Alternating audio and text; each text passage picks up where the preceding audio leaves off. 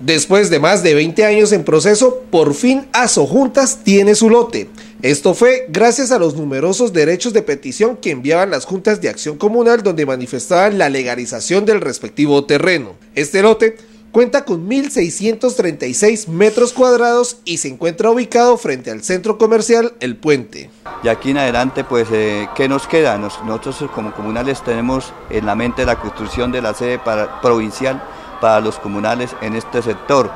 Eh, nos queda eh, pues empezar a hacer el, estudio de, un proyecto encaminado a solucionar esta, esta parte y para darle una sostenibilidad, que es lo que tiene, tenemos en nuestras mentes, es eh, montar allí un auditorio, una cocina, baños y dormitorios para albergar a los diferentes directivos de la Junta de Acción Comunal de la provincia de Guarentina para poderle dar sostenibilidad.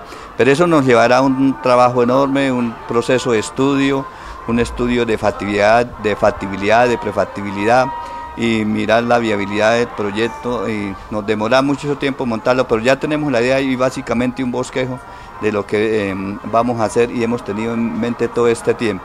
Entonces, eh, sí, eh, eh, la meta es construir ahí la sede para los comunales como ustedes muy bien lo saben, en estos momentos pues tenemos una oficina en la alcaldía que nos la prestan a ratos, pero ese, ese no es el objetivo. El objetivo es que la asociación municipal tenga su sitio donde hacer sus reuniones, por eso está proyectada, se proyecta el auditorio.